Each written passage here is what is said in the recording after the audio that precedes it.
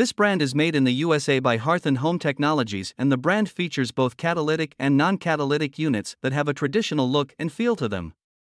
Their flex burn models gives the option of burning the stoves with or without using the catalytic combustor, but catalytic combustors eventually need replaced and usually require more maintenance.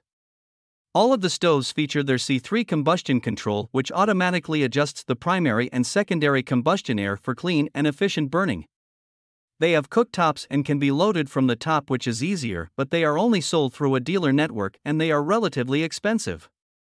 The guarantee on the stoves is not very good when compared to other brands.